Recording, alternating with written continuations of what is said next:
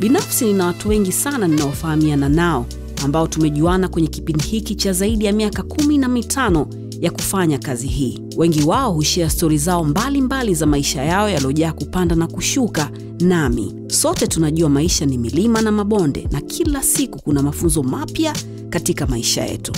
Hizi ni baadhi ya hizo stori ambazo watu hawa hukutana au wamekutana nazo katika maisha yao ambazo zitakufanya usome uwaze au uangalie vitu kwa umakini zaidi. Na pia kujifunza. Mimi ni salama.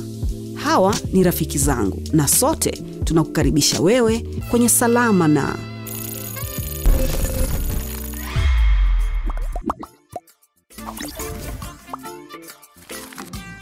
mambo karibu sana kwenye salama nana. Leo na furaha kubwa sana kukuambia kwamba tuna washikaji zetu ambao wanajaribu kurahisisha maisha yetu vizuri sana.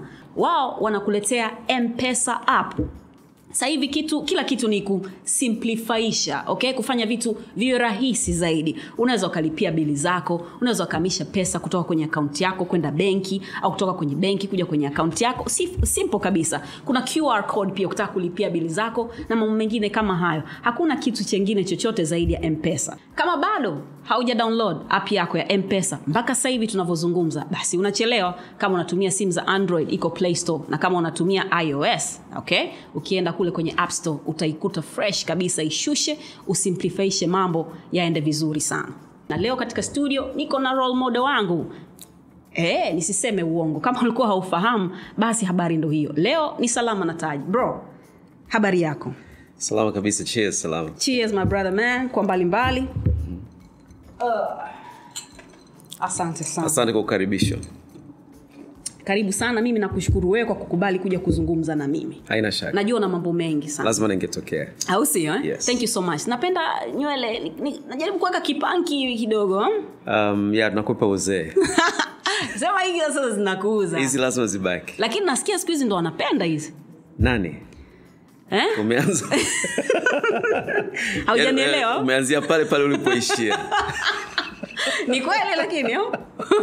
wanapenda sana yani. Wacha. Sana. Zamani ilikuwa ni kwamba mtu ukionekana kwamba umeanza kukata ringi hivi mtaani tunasema hmm. watu wanaokimbia lakini siku hizi yeah. yani hivi ndo watu mali sana. Hali ya uchumi imebadilika sana. Yeah.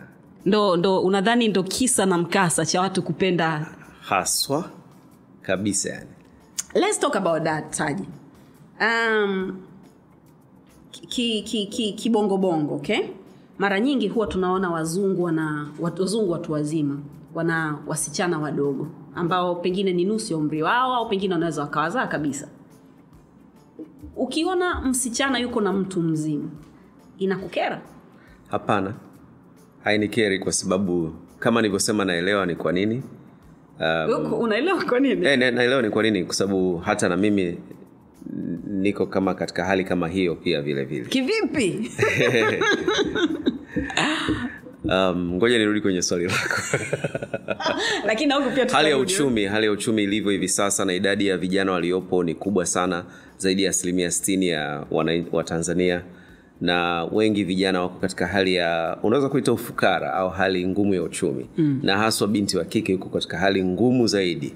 Um, fursa zake nyenzo zake zimefinywa na ni chache zaidi. Kwa hiyo unakuta si ajabu wasichana wengi wanakwenda kupata vijana au wakaka ama watu wazima kuanzia arobaini na kuendelea ambao wanajimudu na wanajiweza. Mm. kwa hiyo ni hali ya uchumi ilivyo. Okay so ni, ni sawa kwa msichana kuwa na mtu mzima kuliko yeye kwa sababu tu hali ya uchumi haiko sawa? Hauhisi kwamba huko ni kujibweteka? Ina- go ina- get a job man. inabidi. Na kazi zenyewe ziko wapi? Inabidi. Na hata unaposema ujasiriamali unakumbuka miaka kumi iliyopita ujasiria ujasiriamali. Yeah. imezidi kuwa ngumu sasa hivi kwa hiyo si vibaya mm. haina shaka kabisa alimradi tu kwamba wanawiana wanaendana na kuna nidhamu katika hayo mahusiano haswa kwa upande wa binti mdogo Asi, sasa bweteke na ghafla kuweza kutambulishwa kwa mambo mazuri sehemu nzuri mm. maisha mazuri akahisi anaweza labda akamchepuka kidogo hmm. akarudi kwa kijana. Kunahitajika nidhamu ya kiwango cha hali ya juu.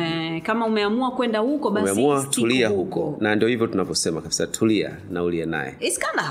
Kwa sababu unajua damu yako inachemka alafu uko na mtu ambaye baada ya tu ya mechi moja kalala inakuwaje? Um, inategemeana sasa na hiyo mechi imepigwa kwa ufundi wa kiwango gani kama ni tisini au au yes. kuna extra time. Uh, zinakwenda kuna watu wanamudu kabisa. Watu wazima. E, ndio. Ndio na unamwangalia mmojawapo kwa hiyo.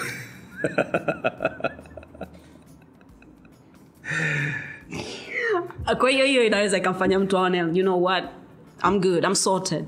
Kabisa yani e, tulia kwa sababu kweli ni, ni ngumu ni swala ambalo mi nalizungumzia sana haswa kwa upande wa binti wa kike msichana wa kike Ndiyo. kama hana familia bora ambayo tukisema bora tunamaanisha kwamba inayojimudu baba na mama wanafanya kazi wanaweza kumsomesha wanaweza kumpitisha kwa sekondari kumpeleka chuo Ndiyo. hata nje ya nchi kiukweli kabisa tuseme ukweli jamii yetu namna hiyo wengi kwa mtoto wa kiume hmm. naye atafute mtu mzima bonge la bibi ama akiwa mvivu na mzembe sana. Akiwa mzuri akiwa pisikali mwanaume. Mm. ndio wanatafutaga. Lakini wavulana wamepata bahati kubwa sana. Wengi wanaendesha bodaboda na ina hela bajaji. Um, wavulana wana nguvu kwa hiyo utakuta wanahangaika kariakoo wanafanya shughuli mbalimbali wanauza matunda.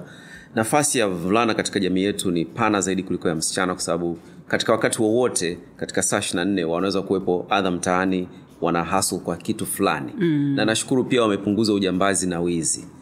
Wanajishughulisha yani tunasema vijana wa tanzania wa kiume wengi wanafanya kazi smart na kwa akili mm. Ina, inafurahisha sana. Okay hiyo nimeipenda sana. Ingawa bado kuna wengine ambao wanajihusisha na, na shughuli nyingine ambazo na hazihusiani hakuna haja kabisa yani fursa zipo. Alimradi tu hujioni bab kubwa eti siwezi kufagia hapa mm. siwezi kubeba hiki kitu. Ukijiweka Vanessa kisharobaro ataniona. eh, ataniona. Ukisha kuwa na akili kama hiyo hautaweza kuendelea.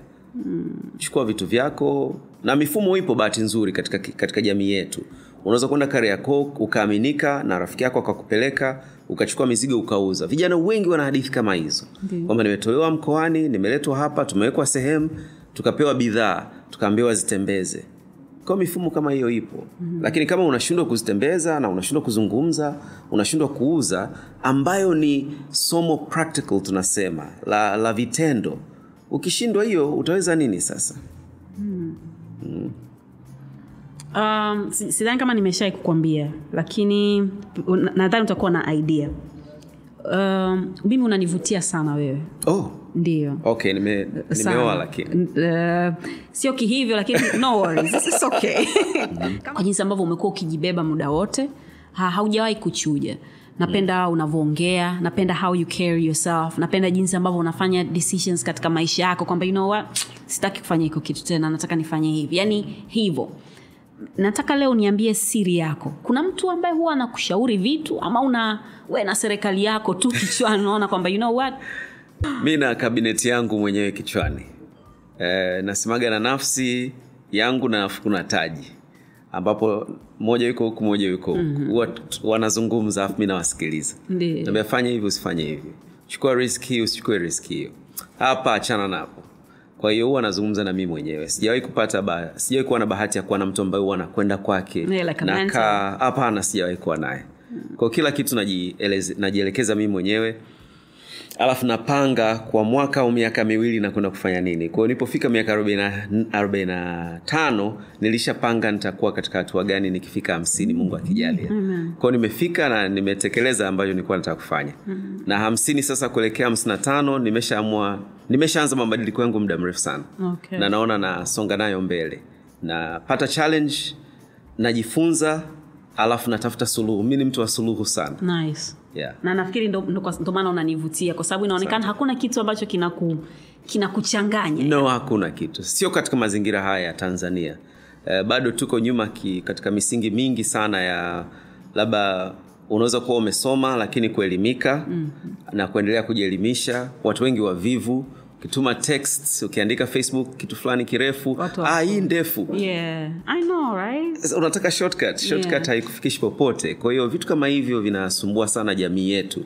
Ndio maana kwa mimi ambaye nilipata bahati ya kuwa na mchanganyiko wa ufahamu bado soko hili naliona liko nyuma sana na fursa naziona milioni kidogo katika mm. eneo lolote lile masatini kwa sijakukaribisha kinywaji ingawa naona kimeshafika nusu. Umenifurahisha sana kwa hiyo. okay hiyo ni mocktail ya kutoka kwa rafiki zetu wa samaki samaki. Safi. inauzwa shilingi elfu saba kama kuna mtu ungependa kumpeleka pale.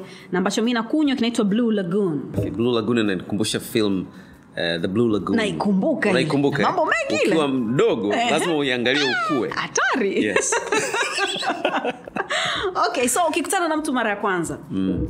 unajiintroduce vipi? Unamwambiaje mtu kuhusu wewe uh, actually sijitambulishi kabisa. Mi nasema tu mi taji. Aha. basi. Hata nitambua baadaye. Oh. yeah, yani si- sijikwezi wala sisemi master t. Ndio. Mimi naitwa taji. Alafu napenda ile proses ya mtu kutaka kunifahamu. Mm-hmm. uh, atanisikiliza afu baadaye atanitafuta tu. Okay. Mm. nilikuwa naangalia mm, mkasi ambao tuliufanya like six years back eh, eh? nashukuru tena E, na mimi pia nashukuru sana ulikuja hatukuongea sana siku zile kwa sababu kipindi kilikuwa ni cha nusu saa Ndiyo. so leo mi nataka nikufahamu vizuri zaidi Okay. wewe kama wewe um, kuna stori fulani niliisikia ni ya kusikitisha hivi kidogo kuhusu familia yako mm. kama hutojali mastatini nataka unielezee Uh, Okay. nilikuwa nasoma kwenye nilikuwa nasoma kabla sijakutana na wewe nikajua kwamba mzazi wako baba yako retired judge alikuwa. Yeah. Alifariki ndio alifariki mwaka elfu mbili na kumi na nne. Pole sana. Asante nashukuru. So nataka uniambie kuhusu mama yako na, na, na, na familia yako kiujumla. Mm-hmm. na baba yako pia utanielezea na maswali kuhusu yeye pia. Okay.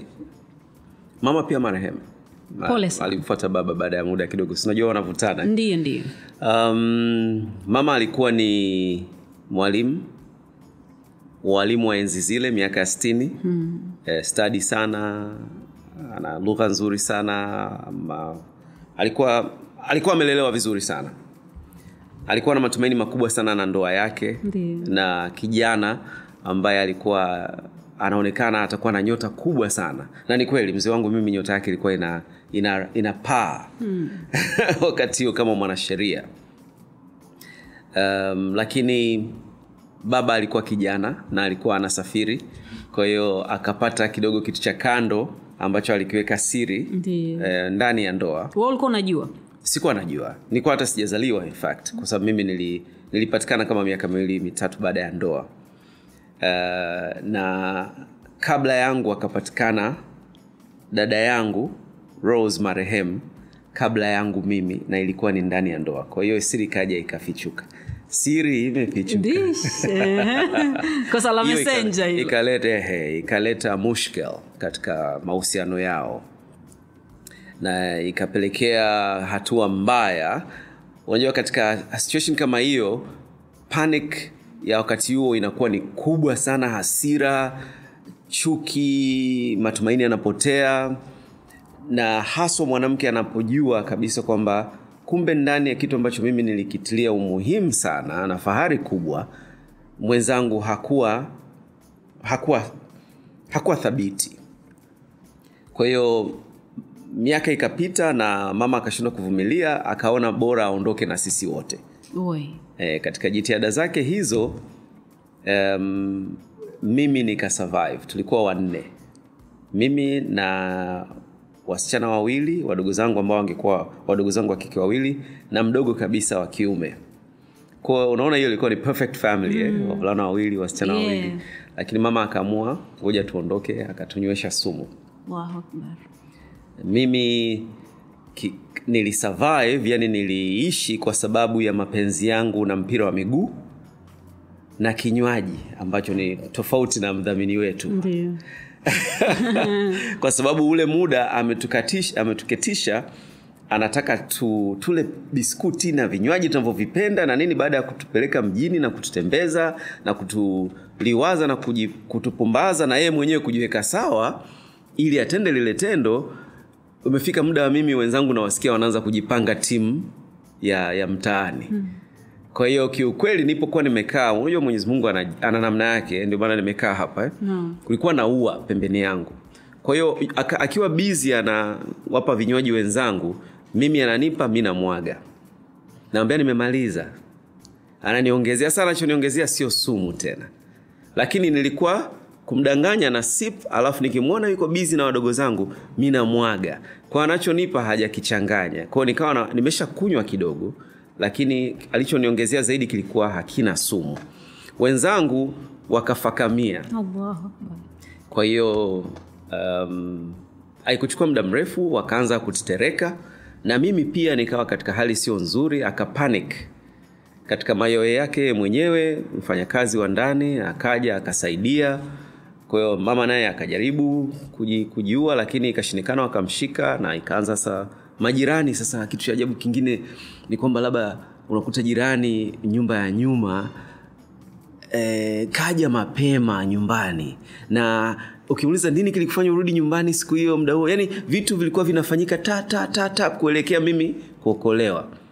Kwa hiyo tukabebwa na gari lake jirani amesikia mayoe akaja na walikuwa warabu wakati huo unaweza kukuta mwarabu anakaa wao wenyewe sisi waafrika tuna mambo yetu.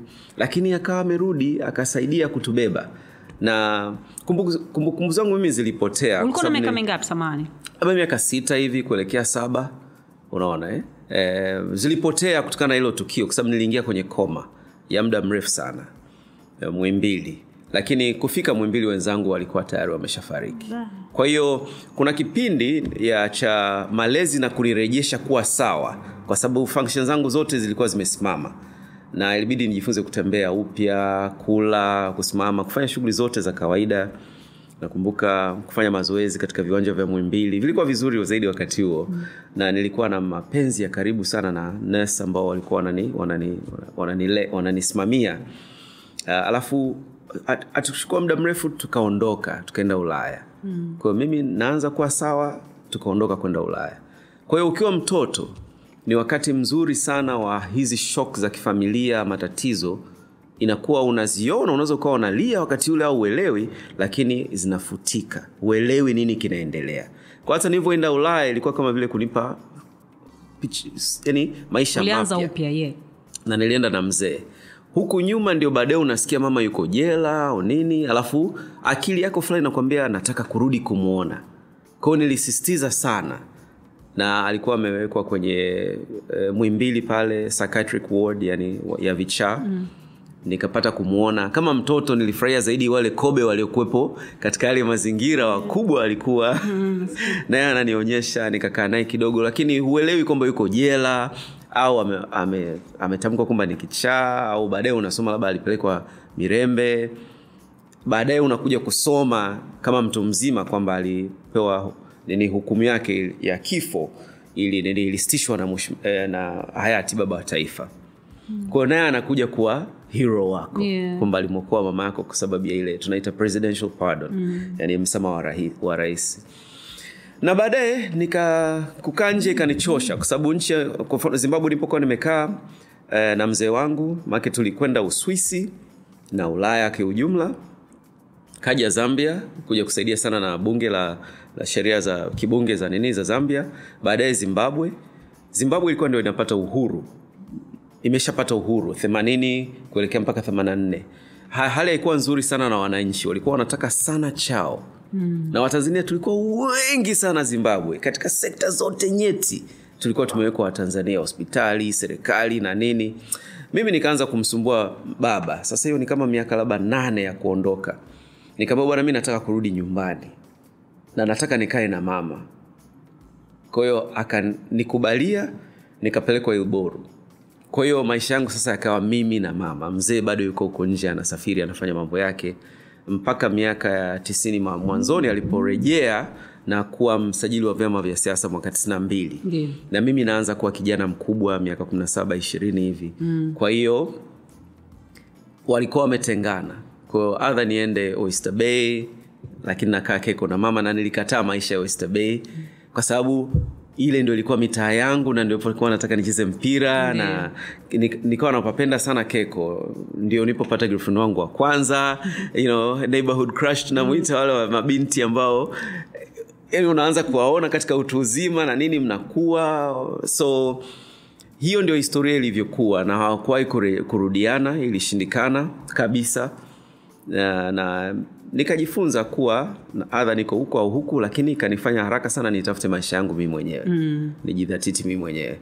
Kwa hiyo historia ulivyoisikia kwa ufupi naweza nikaielezea hivi. Um, samahani sana. Pole sana kakaangu ya. Sijui kama naweza na, na, tunasema asante lakini kuna vitu vingi tunasema kwa kizungu vilini cushion vilini hifadhi ili swala lisiwe zito sana kwangu. Kusafiri labda na utashi wangu mii mwenyewe mapenzi kwa wazazi baba na mama.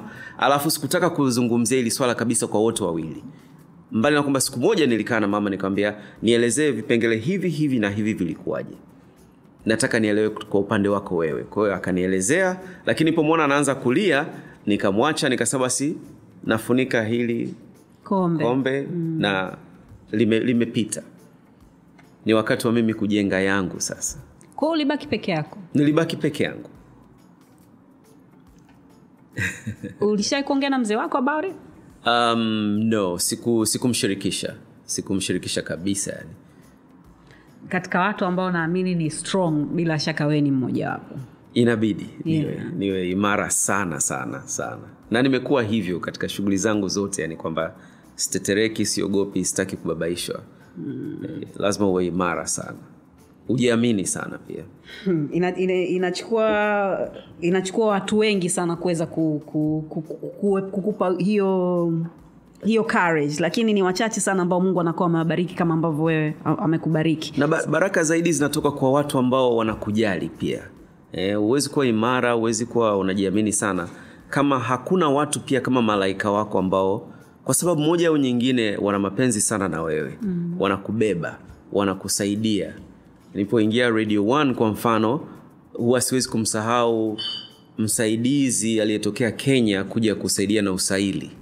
Mm. sasa na mabavu yangu yote yale ya kuto kupenda kunyanyaswa au naona katika hali kama mushkil lakini nafanya vizuri anakuita pembeni anakwambia unajua mimi sijawahi kusikia mtu ambaye hajawahi kutangaza anatangaza kama wewe. Kijana tulia tulia hii kazi unastahili wewe. Alafu ni unashtuka "Ah, huyu nani? Vipi?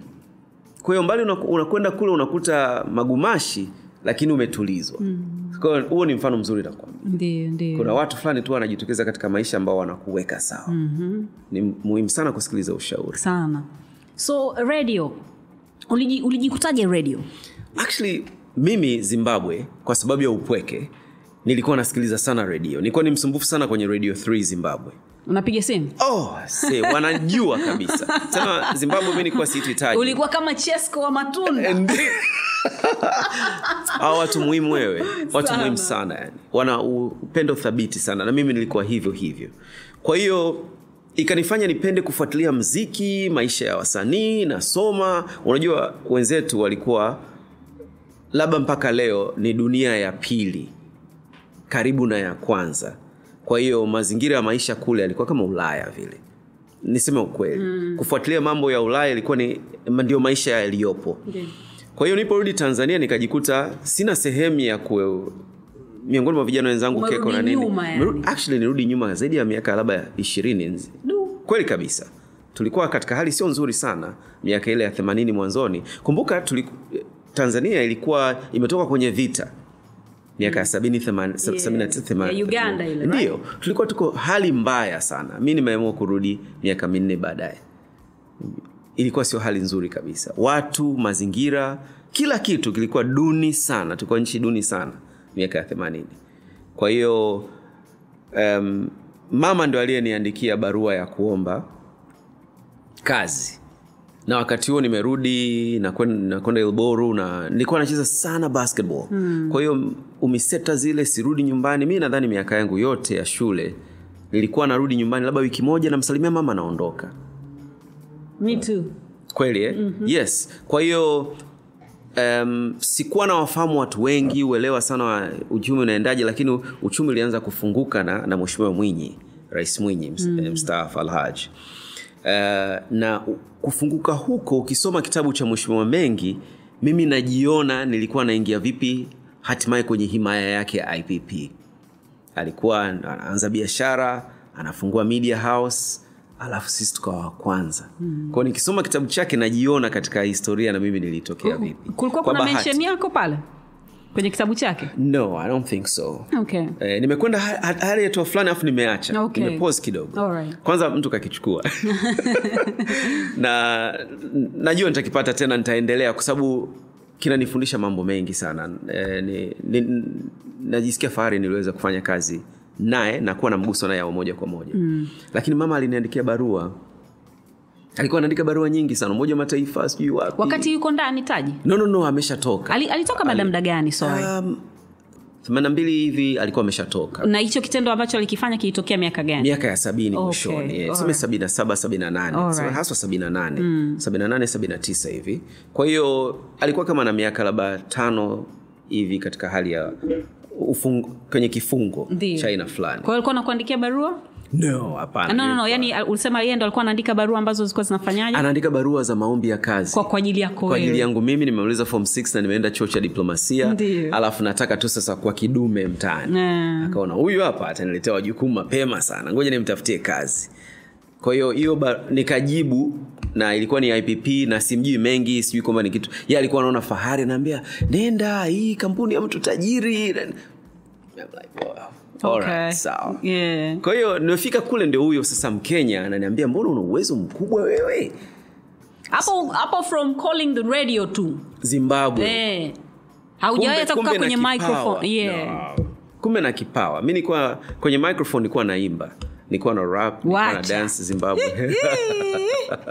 Tuendelee.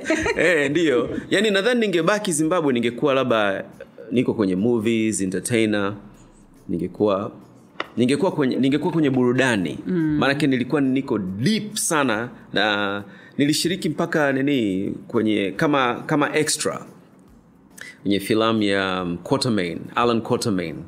Eh, kama unazifahamu hizo eh, zitafute basi utazi, utazifurahia sana Okay. walikuja kushoot location zimbabwe tukachaguliwa na mi nikapata nafasi inaitwaje eh, ni alan Quatermain. alan Quatermain. Eh, filamu za alan Quatermain. ni, ni kama indiana Eh, jones eh, za, za awali Eh, sasa hiyo hiyo story hiyo siku wakati huo ilikuwa inazungumzia queen of Sheba. Eh, kwa hiyo- The sub- series imerudi anafanya nani eh? samahani. karibu jessica. Ha. uh, the famous jessica. Yes. Hiyo ni ya kwako ni drunken, drunken prawns sindio eh? elfu ishiri na sita tu kutoka samaki samaki kaka utakuwa unadonyoa donyoa. Mi ya kwangu hapa niloletewa huyu ni vandame drunken prawns. Drunken prawns. aniletee chopsticks basi ni uh, utaweza? Awezani amekuletea knife and fork. Kweli, eh? nataka uniambie kuhusu kuhusu redio bado nabaki hapo po? Ndio. Na sasa nataka tuzungumzie bongo flavor. Okay. Wewe ni mmoja. Naweza nikasema ni mmoja ama niseme tu ni mwanzilishi? Sawa. Ni mwanzilishi eh? wa upigaji Wa bongo, wa Bongo flavor, Flava flava redioni. ndio. Ya hiyo ndio title sahihi. Sawa nani alikuja na jina la bongo flavo oh, um, na, najua kuna kuna watu wengi wanasema sijui mimi, mimi nataka kuamini sikusikia lakini